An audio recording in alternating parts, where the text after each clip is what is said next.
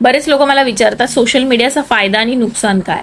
तर फायदा आहे की जर तुम्हाला आनंद मिळत असेल सोशल मीडियामधून तर नक्की सोशल मीडियावरती राहावा एन्जॉय करा हॅपी राहा. आणि दुसरी गोष्ट म्हणजे जर तुम्हाला सोशल मीडियाकडून पैसा मिळत असेल तर डेफिनेटली राहा. पण जर तुम्हाला ना आनंद मिळत आहे ना तुम्ही हॅपी आहात ना तुम्हाला पैसा मिळत आहे तर सोशल मीडियावर कशाला आहात?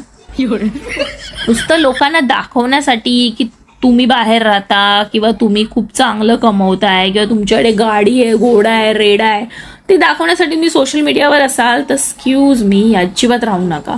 कारण लोकांना काही फरक नाही पडत. खरं सांगते. उलट लोक तुमच्यावर जळतील आणि तुम्हाला नजर लागेल आणि तुमची कामं अडकतील.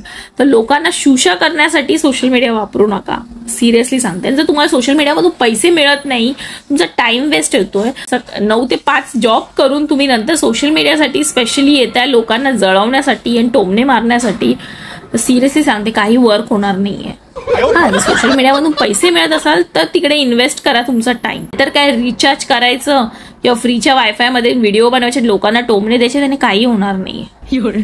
सिरियसली खरंच.